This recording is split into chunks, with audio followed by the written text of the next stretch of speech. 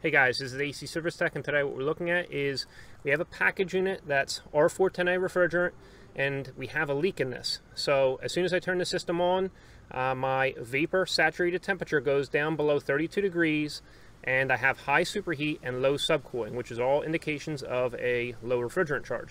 So we're going to find the refrigerant leak with the AccuTrak VPE Pro ultrasonic leak detector.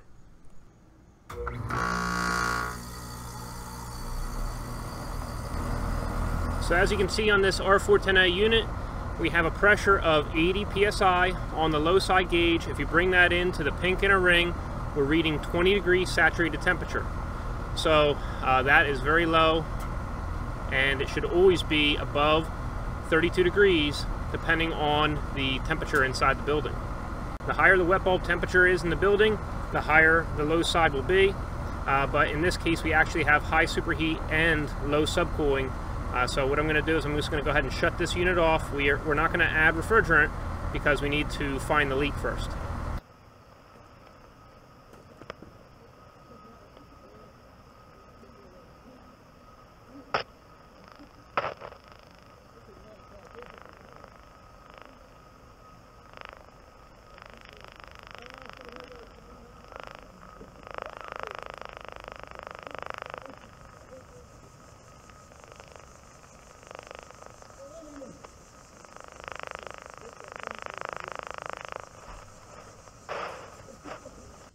So now we have the fins cut out and the highest reading that we found with the ultrasonic leak detector was the fourth tube down. So that's this one right here.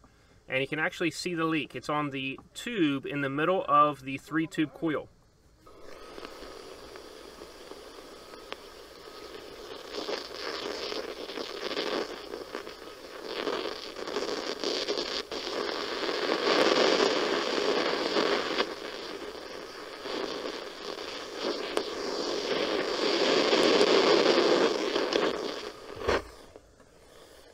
So you can see you can even pinpoint the leaks with the ultrasonic leak detector. Then after you find a leak, you just go ahead and add a little bubble leak detector in order to pinpoint it down even further. I'm going to take you in for a close-up image of this. So there it is on that lower tube.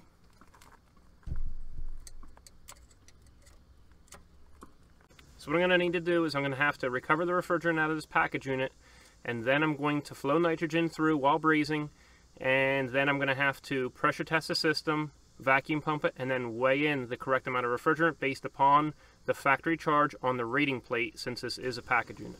If you're looking for the AccuTrak VPE Pro, which is included with a uh, earphones, they also have a volume control. The AccuTrak VPE Pro is linked down in the description below.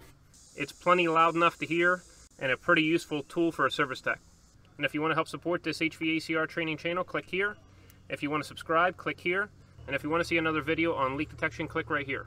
Hope you enjoyed yourself, and we'll see you next time at AC Service Tech Channel.